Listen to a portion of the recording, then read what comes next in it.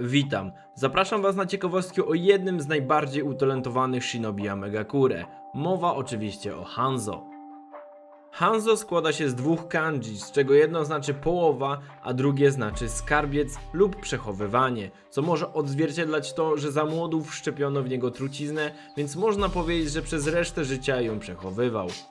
Nabyty żywioł Hanzo to ogień. W mitologii salamandra była też ognioodporna. Taki mały szczegół, a jednak ważny. W anime śmierć Hanzo jest opisywana jakoby występowała gdzieś pomiędzy egzaminem na Chunina, a atakiem Paina na Konohę. Jednakże w grze Naruto Shippuden Ultimate Ninja Storm Revolution jego śmierć oscyluje w czasie niedługim po rzezi klanu Uchiha.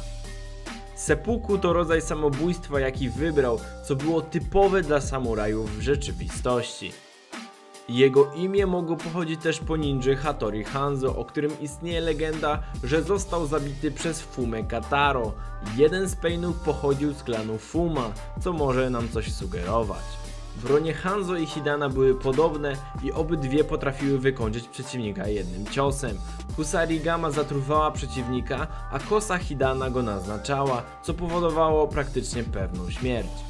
Urodził się on 12 lutego, miał 177 cm wzrostu, ważył 58 kg i miał grupę krwi A.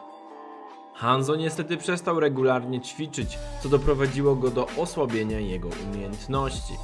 Jest jeszcze jedna teoria dotycząca jego imienia. Otóż Hanzaki to salamandra olbrzymia. Jej nazwa ma wspólne kanji właśnie z imieniem Hanzo. Sam jego oddech potrafi zatruć, lecz walczy on zazwyczaj w masce, ponieważ gdyby został zraniony, istnieje ryzyko, że odparowująca toksyna sparaliżowałaby jego ciało. To już na tyle w tych ciekawostkach. Dajcie znać o kim zrobić kolejne. Nie zapomnijcie lajkować, dać łapkę w górę i polubić ten filmik. Cześć!